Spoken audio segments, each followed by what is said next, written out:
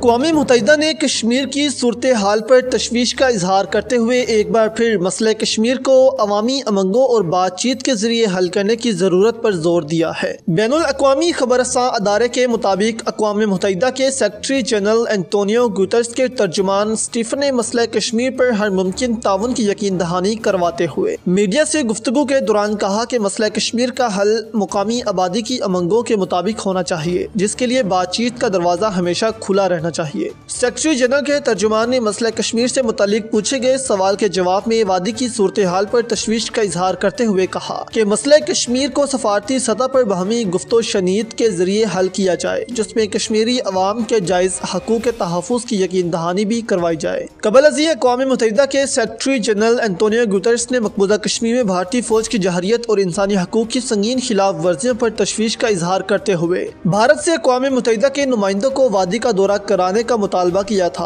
تاہم بھارت روایتی ہٹ درمی پر قائم ہے واضح رہے بھارت نے پانچ اگست کو اپنے آئین کی تین سو سترویں شک ختم کر دی تھی جس سے کشمیر کو آئین میں حاصل خصوصی حیثیت کا خاتمہ ہو گیا تھا کسی ممکنہ احتجاج کو روکنے کے لیے تاحال وادی میں کرفیو نافذ ہے اور بنیادی انسانی حقوق کی سنگین خلاف ورزیاں بھی جاری ہیں